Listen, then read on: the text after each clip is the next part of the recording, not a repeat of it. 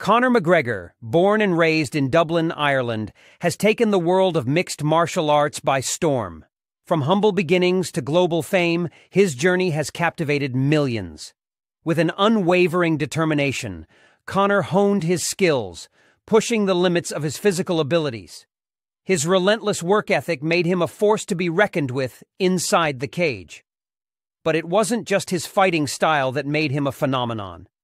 McGregor's charismatic personality and quick wit endeared him to fans worldwide. His trash talking and flamboyant antics created a spectacle unlike anything seen before in mixed martial arts. But with great success came great challenges. McGregor's rise to stardom was not without its setbacks.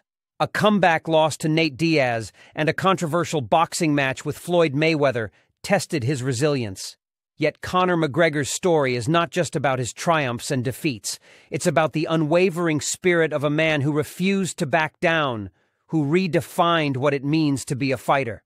Today, Conor McGregor stands as an inspiration to young athletes around the world, proving that hard work, dedication, and a little bit of chaos can lead to greatness. Thanks for watching this video on Conor McGregor's rise and fall, the untold truth behind the notorious phenomenon. If you enjoyed it, don't forget to subscribe to our channel for more captivating stories of sports legends.